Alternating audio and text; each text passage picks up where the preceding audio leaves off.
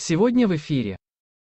Регулярный профилактический прием аспирина при наличии хотя бы одного фактора риска сердечной недостаточности повышает вероятность ее развития на 26%.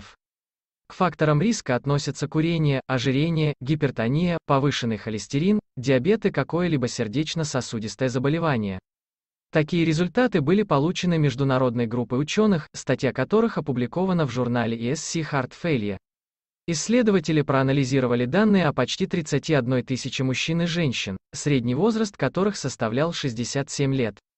У всех участников присутствовал по крайней мере один из перечисленных выше факторов риска сердечной недостаточности, но на старте исследования нарушения работы сердца у них не наблюдалось.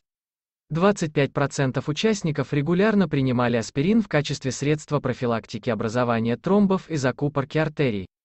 Информация об участниках собиралась на протяжении в среднем пяти с небольшим лет. За это время 1330 человек было госпитализировано в связи с развитием сердечной недостаточности.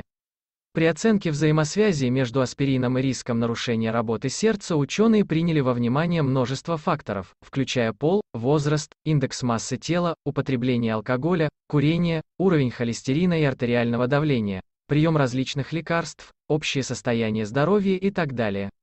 В итоге оказалось, что, вне зависимости от этих факторов, у людей, которые регулярно принимали аспирин, риск развития сердечной недостаточности на 26% выше, чем у тех, кто лекарства не принимал.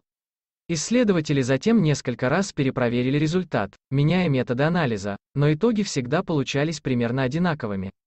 Авторы публикации отмечают, что для подтверждения этих выводов необходимо проведение масштабных клинических исследований, а до тех пор стоит иметь в виду, что тем, у кого есть хотя бы один фактор риска сердечной недостаточности, необходимо относиться к приему аспирина с осторожностью.